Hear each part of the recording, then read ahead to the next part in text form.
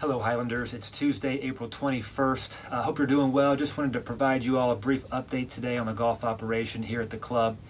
Uh, first off, I hope all of you and your families are safe and healthy uh, right now, and I can tell you we miss seeing all of you out here. Looking forward to seeing you again real soon.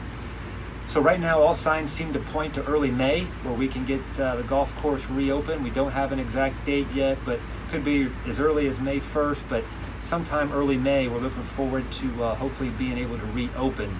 And with that, we're uh, hoping that we'll have some access to golf carts, driving range, potentially the golf shop and the bag room as well. Uh, we'll keep you posted when we do know exactly when that's going to be. Obviously, when we reopen, we will have uh, social distancing guidelines that we will implement and we'll ask all of you to follow. So we appreciate your co uh, cooperation.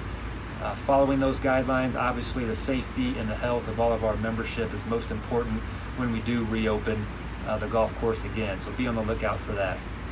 Uh, from an event standpoint, right now we have no organized events until, until June. Uh, however, right now on a sign-up uh, basis, we do have sign-ups open for both the men's Old Buddy and President's Cup events. Those are season-long match play events. So if you haven't registered for those, please do so.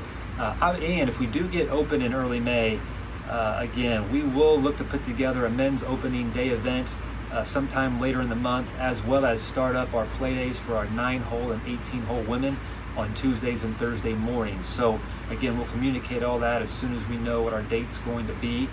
Uh, also, May 1st, we will have sign up started for the Dunham Cup as well as the Swatfest member member. Both those events are scheduled for June.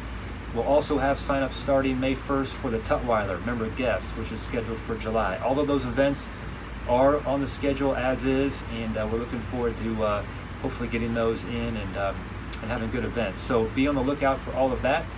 Uh, finally, I do want to mention in the golf shop, you'll see some promotions and things in your email. You might have saw some last week. Uh, as you can tell, the golf shop is fully stocked. It's ready to go and ready to start the season. So if you have any uh, needs, if you're playing golf at other places right now, you need some golf balls or any equipment, uh, hats, apparel, whatever it may be, please reach out to myself or Ian or Brian. We'll be happy to help you.